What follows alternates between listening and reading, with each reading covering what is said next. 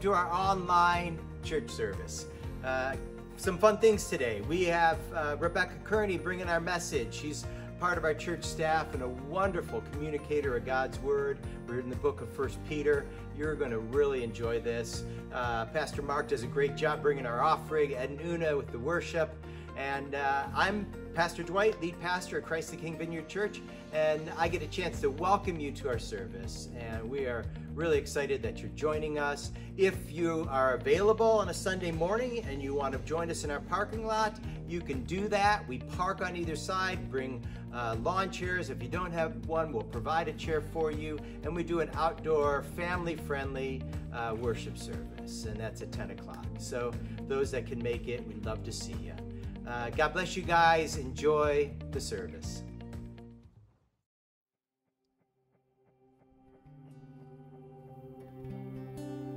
Father, thank you, God, for your presence here among us this morning. God, we just want to fall into faith this morning.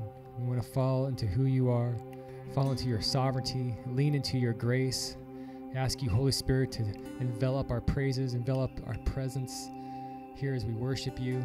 God, we invite you into our homes. We invite you into this moment of worship. God, we honor you. Receive the praise that's due your name this morning. We trust in you. And we thank you for the hope that's in you, God. In Jesus' name.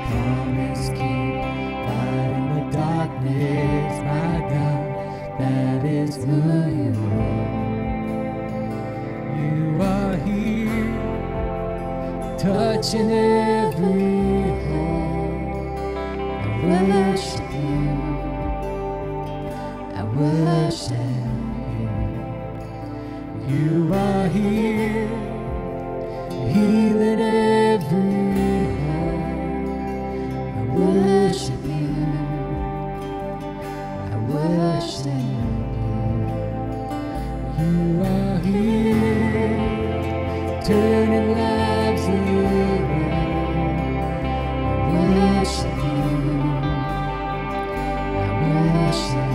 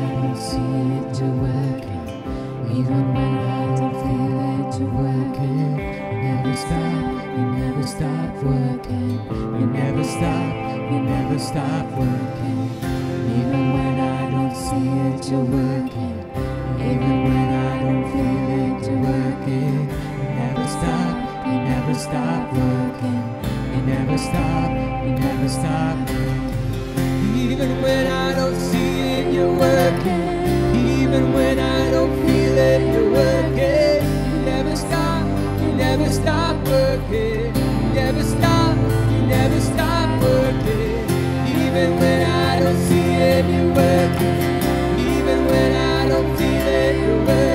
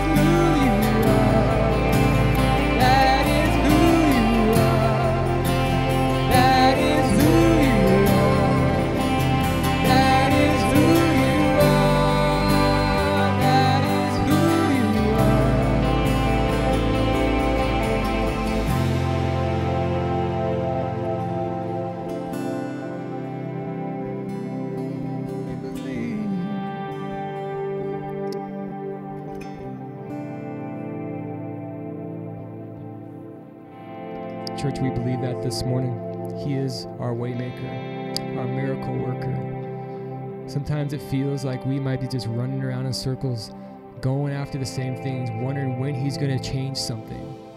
I want you to be encouraged this morning that His promise stands. What He says does not return void. It means it goes out and accomplishes what He sets forth to do because He's a faithful God. What He says He's going to do, He's going to do. And it might not be in our timing, but we can lean and trust into Him that He has all of it worked out for the good of those that love Him. So let's lean into that this morning. We want to introduce to you another song this morning. It's called Do It Again. I believe that this is a song for our time. The words start off and says, you know, walking around these walls, and I thought by now that they would fall.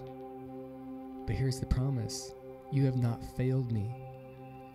We're waiting. We're just waiting. We're waiting for change to come. We don't see it, but we know that the battle is won because you have not failed me yet. The chorus says, His promise still stands.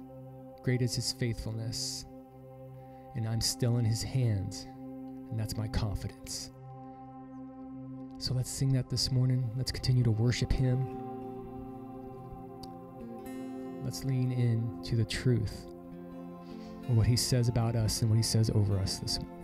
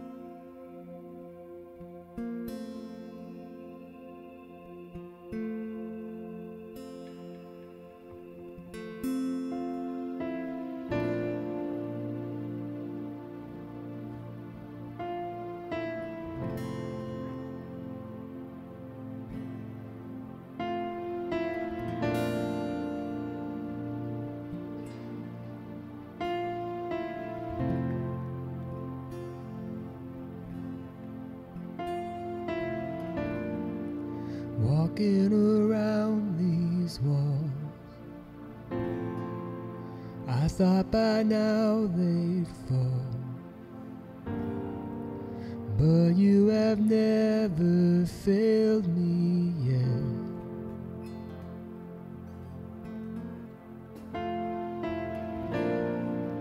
Waiting for change to come, knowing the battle's won. For you have never failed me yet.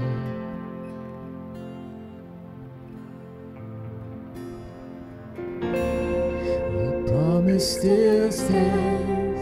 Great is your faithfulness. Faith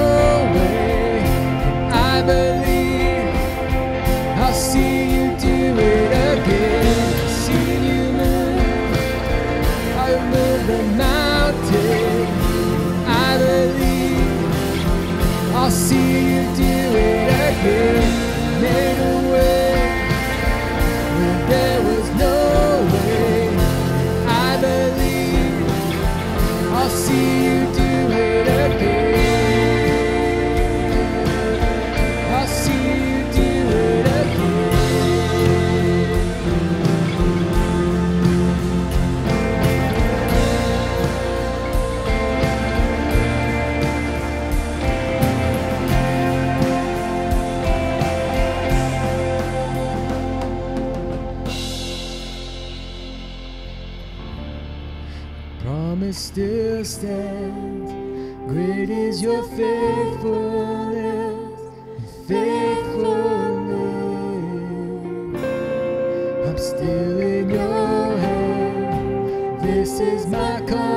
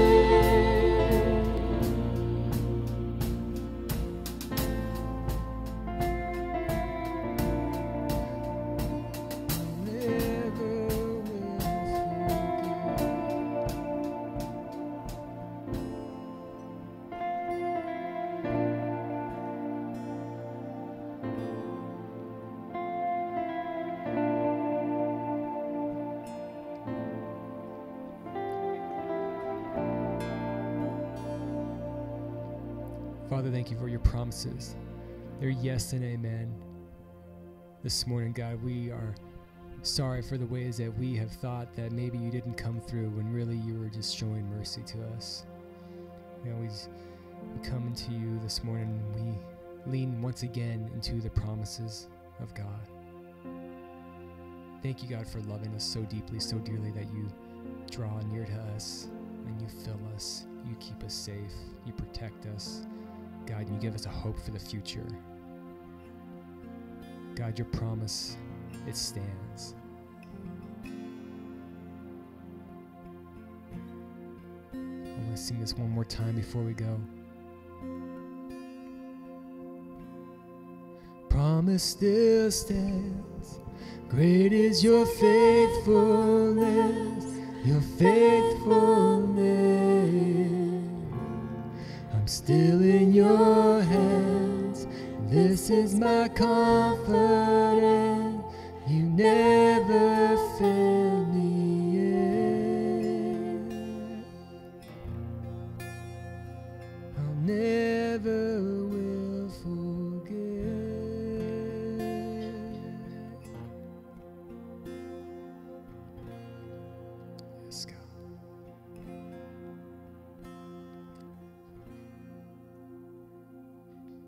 Jesus' name.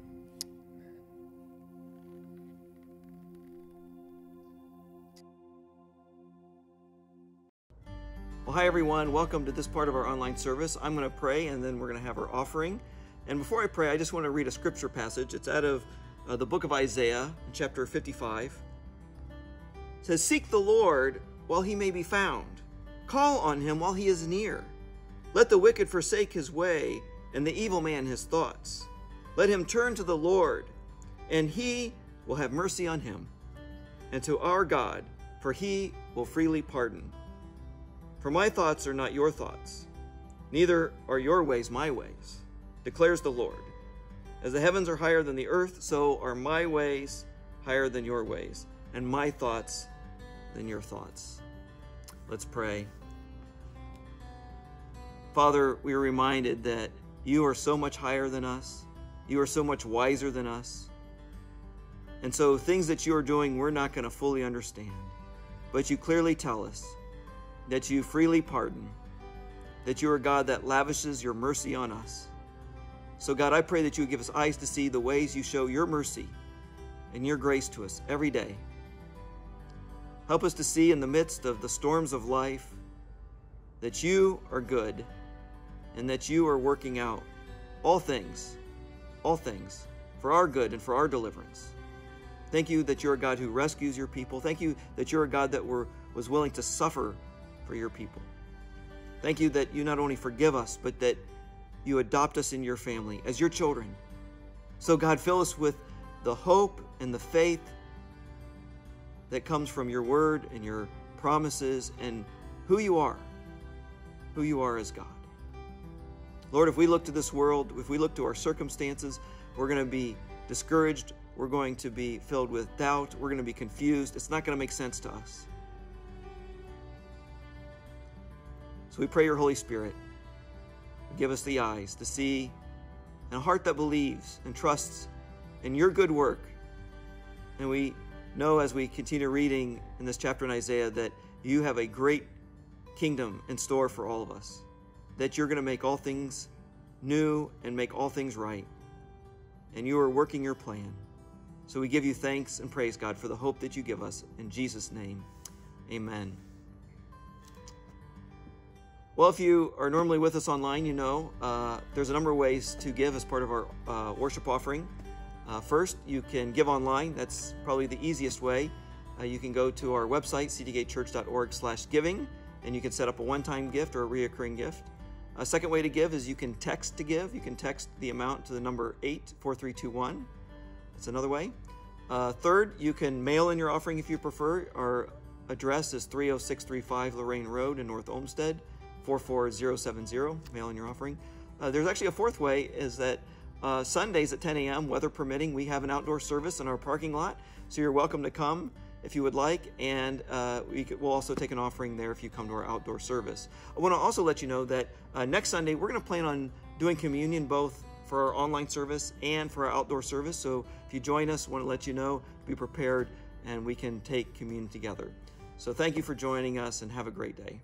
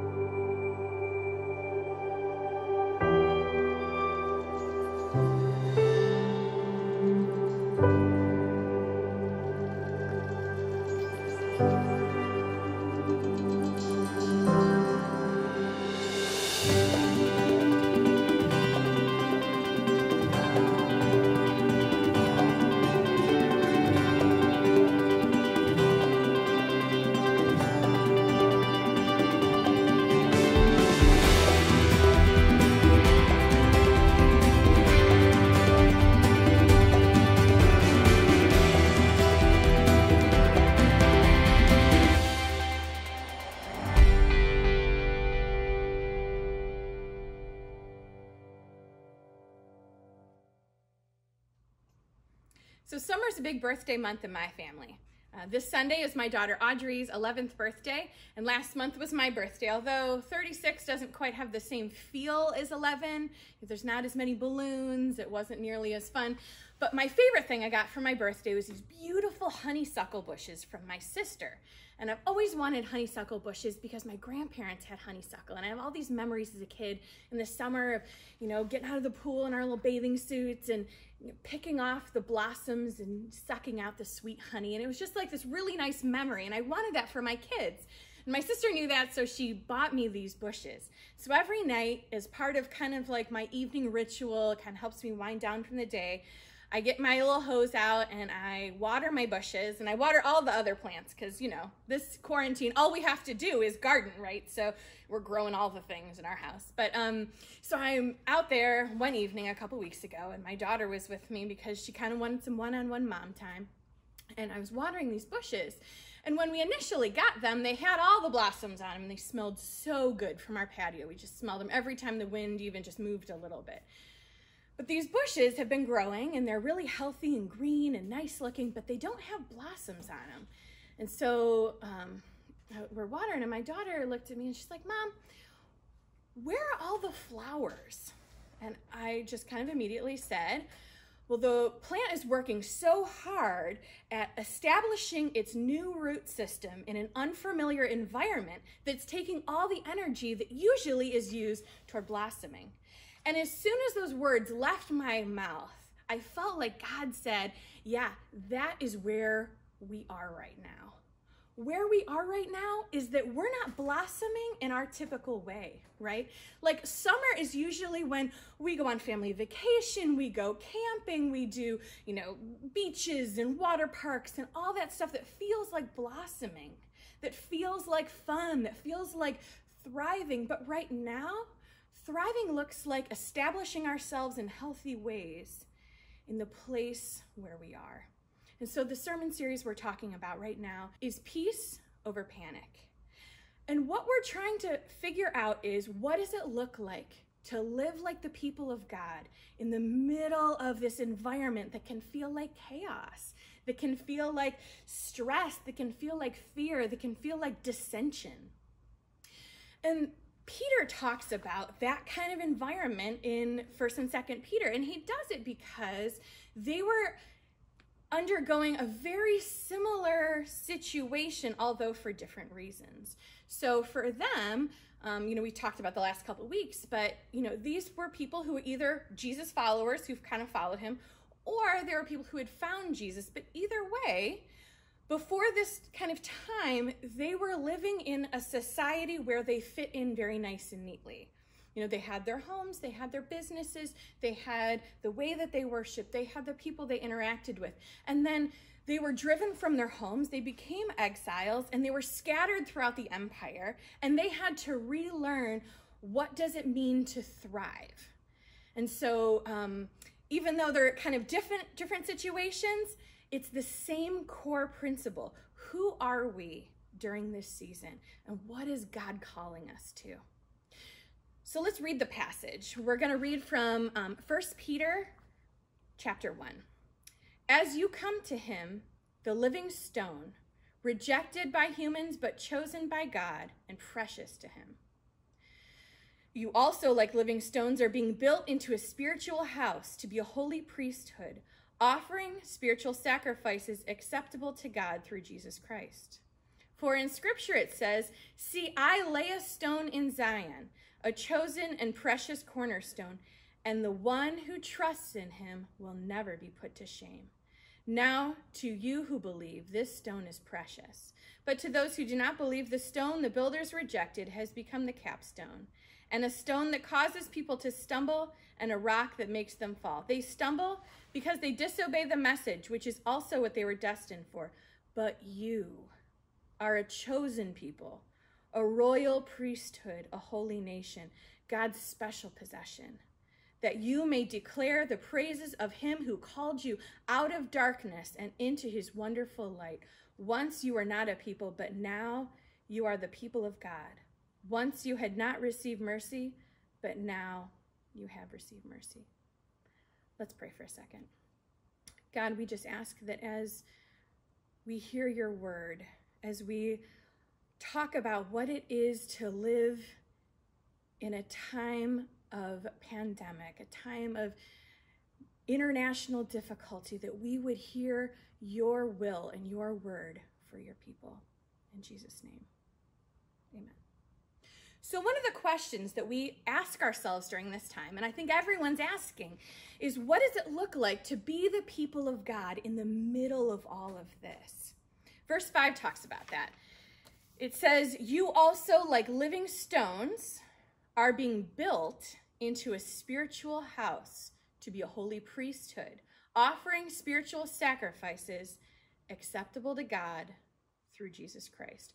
So, if you're familiar with the Bible, you might recognize this kind of ongoing theme of being a spiritual house or being a temple. Uh, in 1 Corinthians 6:19, Paul says, "Do you not know that your bodies are temples of the Holy Spirit who is in you, whom you have received from God? You are not your own." Okay, so both Peter and Paul both use the same kind of illustration to talk about what does it look like to be Jesus followers? Spiritual house, a temple.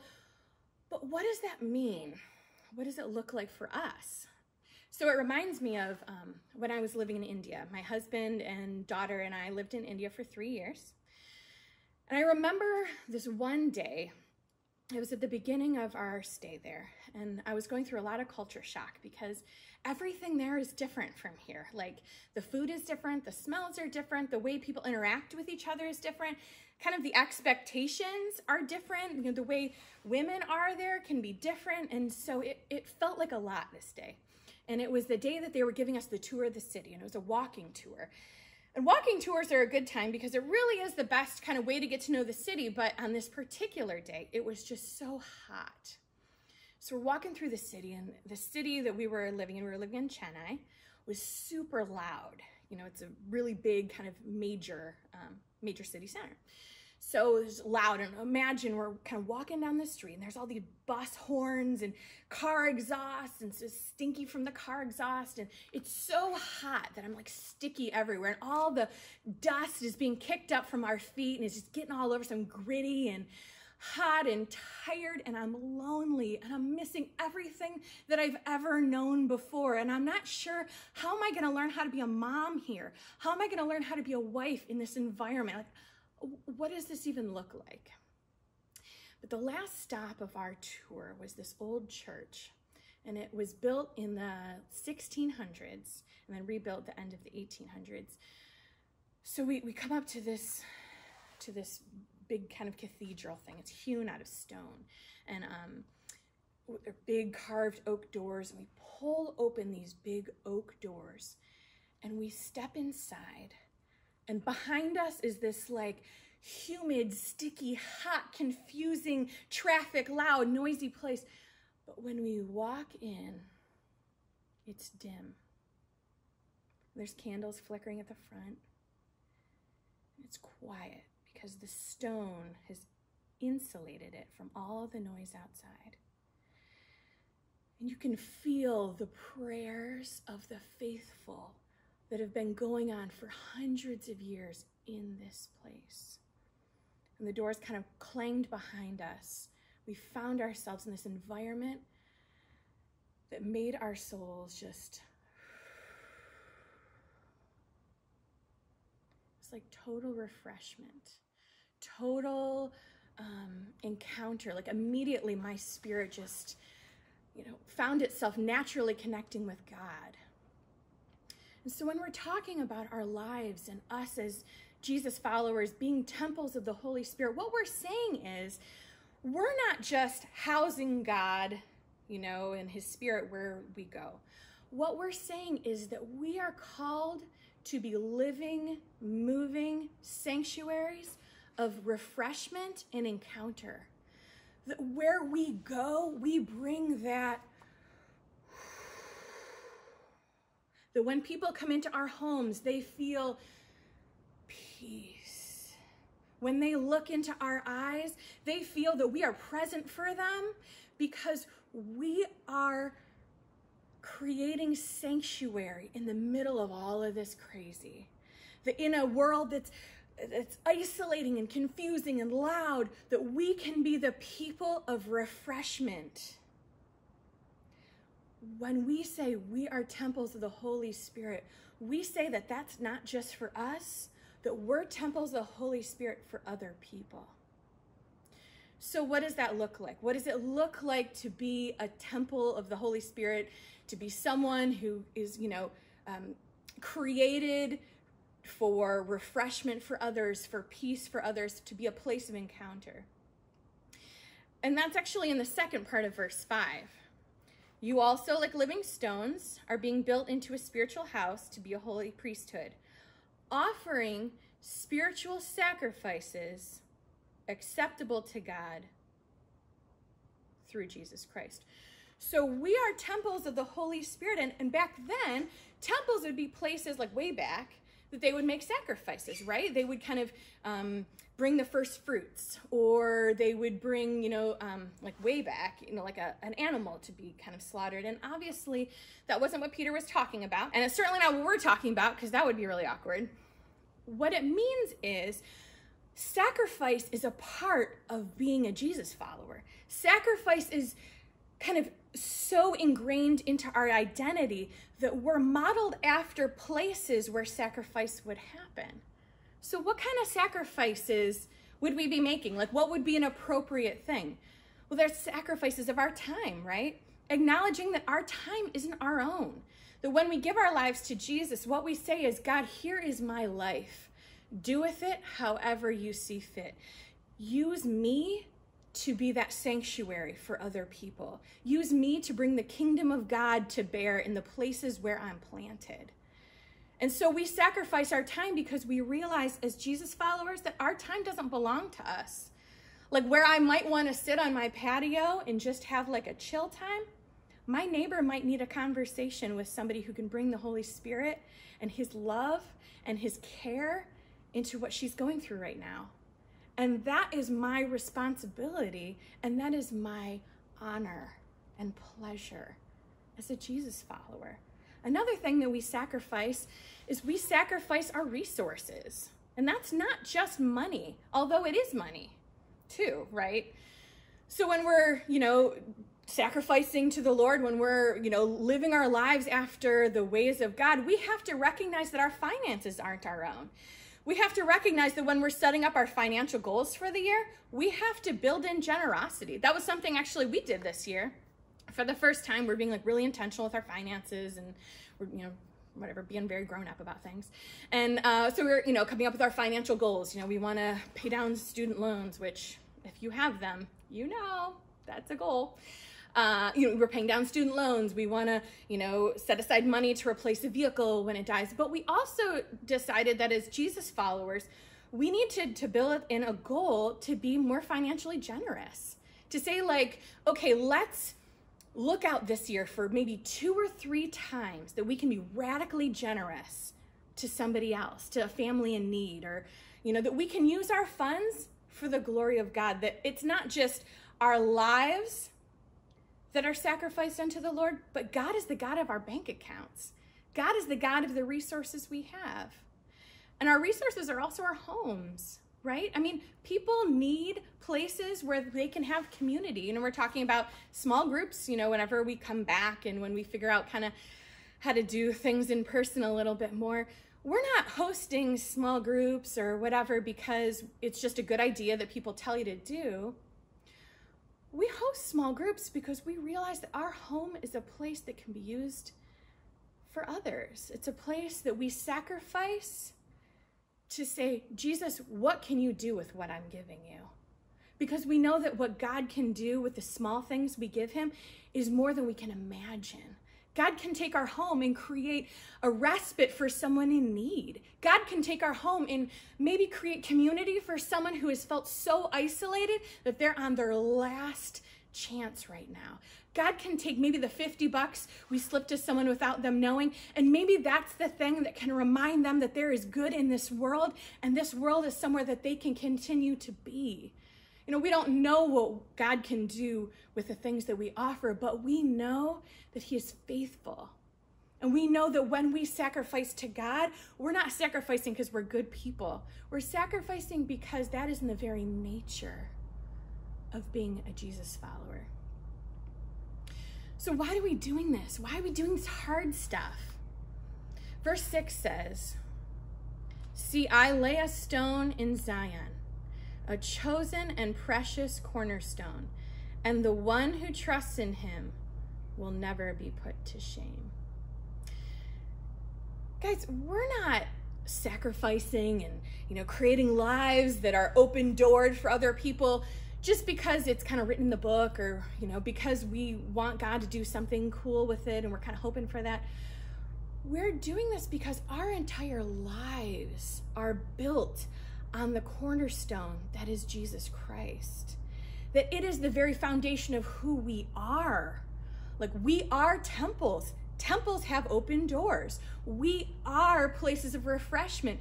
And all of that is true because we're built on the foundation of what Jesus did for us. The ultimate sacrifice was Jesus dying on the cross for us. That the ultimate act of love is every day when Jesus shows up for us.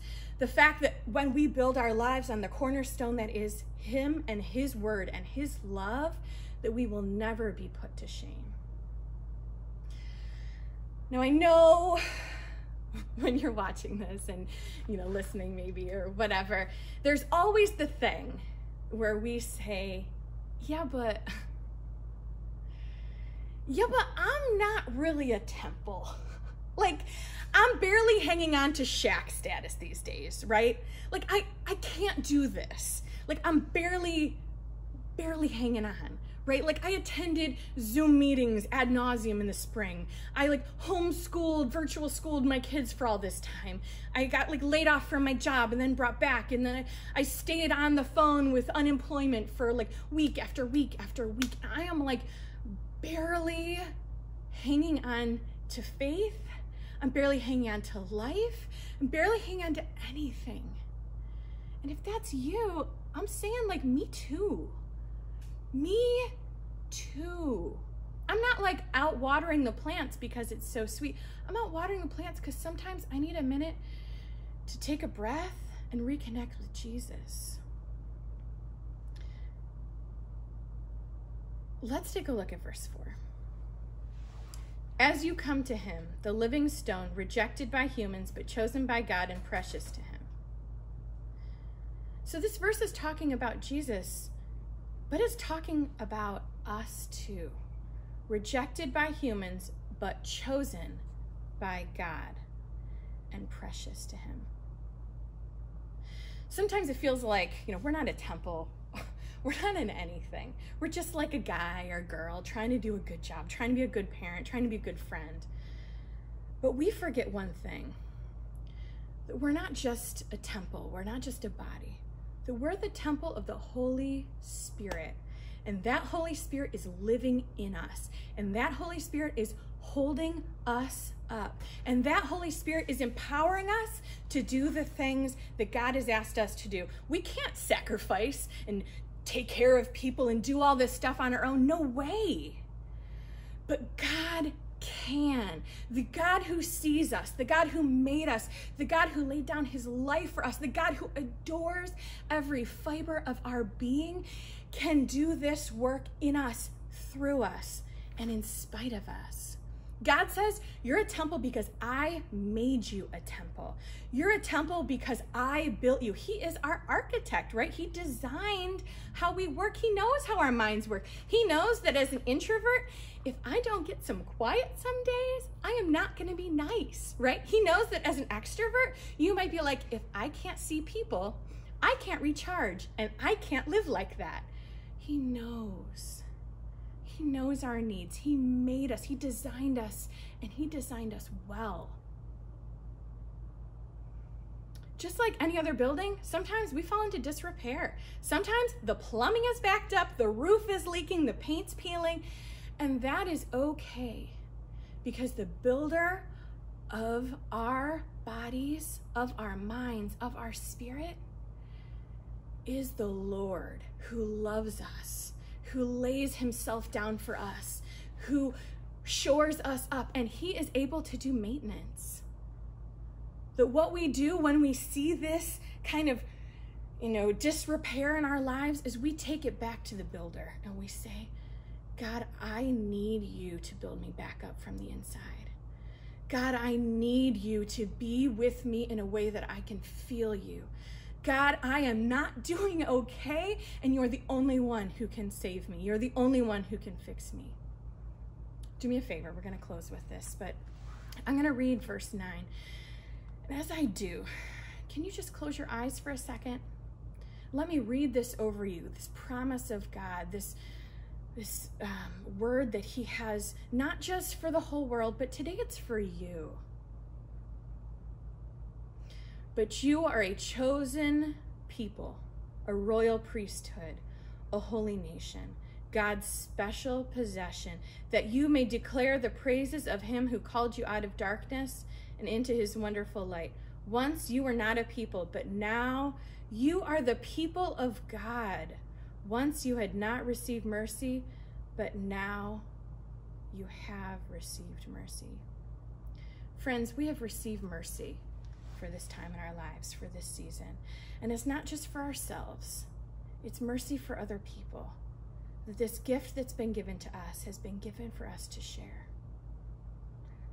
So when we as we pray, let's pray that the Lord who builds us up from the inside will give us the strength to keep the doors of our lives open for people in need. Lord, I thank you for who you are. And I thank you that you are the God who sees us and the God who cares about every detail of our lives. And so, Lord, we just ask that you would meet us here in this place, that you would meet our needs, and that you would help us to connect with you. In Jesus' name, amen. Hey, let me give you a blessing. So may the Lord bless you and keep you. May the Lord make his face shine upon you and be gracious to you. May the Lord lift up his countenance on you and give you his peace, not just for you, for the world around you. Have a great week. God bless. Hey, thank you so much for joining us for our Sunday morning worship service. Uh, we pray that God spoke to you, that you were able to enjoy Him and enjoy His presence. Uh, those that want to support the ministry, we have a few ways you can do that. You can text to give 84321, and that'll set up a way to give via text. You can go to our website, uh, ctkchurch.org slash giving. That'll another way you can give. And of course, you can always mail in a check to uh, Christ the King Vineyard Church, 30635 Lorain Road, North Olmsted, Ohio. God bless you guys. We will see you next week, either outdoors or online. Have a great day.